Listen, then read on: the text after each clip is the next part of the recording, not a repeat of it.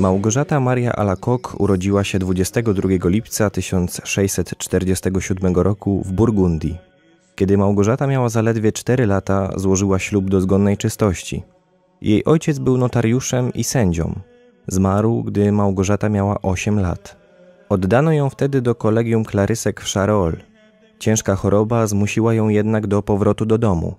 Oddana z kolei na wychowanie do apodyktycznego wuja i gderliwych ciotek, wiele od nich wycierpiała. Choroba trwała cztery długie lata. Dziecko dojrzało w niej duchowo. Nie pociągał jej świat, czuła za to wielki głód Boga. Pragnęła też gorąco poświęcić się służbie Bożej. Musiała jednak pomagać w domu swoich opiekunów. Marzenie jej spełniło się dopiero, kiedy miała 24 lata. Wstąpiła wtedy do sióstr nawiedzenia, wizytek w Paray Lemonial. Zakon ten założyli święty Franciszek Salezy i święta Joanna Chantal, a przez 40 lat kierownictwo duchowe nad nim miał święty Wincenty a Paulo. Małgorzata otrzymała habit zakonny 25 sierpnia 1671 roku. Musiała wyróżniać się wśród sióstr, skoro dwa razy piastowała urząd asystentki przełożonej, a w latach 1685-1687 była mistrzynią nowicjuszek. Małgorzata była mistyczką.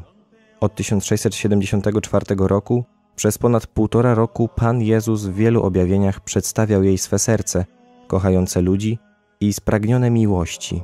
Chrystus żądał od Małgorzaty, by często przystępowała do Komunii Świętej, jak tylko pozwoli jej na to posłuszeństwo, a przede wszystkim tego, by przyjmowała go w Komunii Świętej w pierwsze piątki miesiąca. Polecał także, aby w każdą noc z czwartku na pierwszy piątek uczestniczyła w jego śmiertelnym konaniu w Ogrójcu między godziną 23 a 24. Upadniesz na twarz i spędzisz ze mną jedną godzinę. Będziesz wzywała miłosierdzia Bożego dla uproszenia przebaczenia grzesznikom i będziesz się starała osłodzić mi choć trochę gorycz, jakiej doznałem. W związku z otrzymanym orędziem i poleceniem, aby ustanowiono święto czczące Jego Najświętsze Serce oraz przystępowano przez dziewięć miesięcy do pierwszopiątkowej Komunii Świętej wynagradzającej, Małgorzata doznała wielu przykrości i sprzeciwów. Nawet jej przełożona nie wierzyła w prawdziwość objawień. Dopiero w 1683 roku, gdy wybrano nową przełożoną, Małgorzata mogła rozpocząć rozpowszechnianie Bożego Przesłania. Od 1686 roku obchodziła święto Najświętszego Serca Jezusa i rozszerzyła je na inne klasztory sióstr wizytek.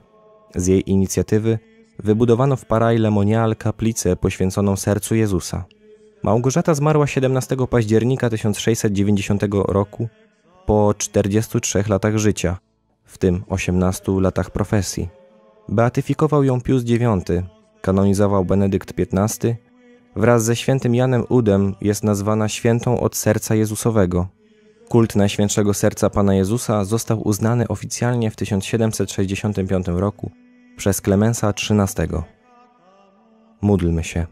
Wszechmogący Boże, ześlij na nas ducha, którym w szczególny sposób obdarzyłeś świętą Małgorzatę Marię, abyśmy poznali przekraczającą wszelką wiedzę miłość Chrystusa i mieli udział w pełni życia Bożego – przez naszego Pana Jezusa Chrystusa, Twojego Syna, który z Tobą żyje i króluje w jedności Ducha Świętego, Bóg przez wszystkie wieki wieków. Amen.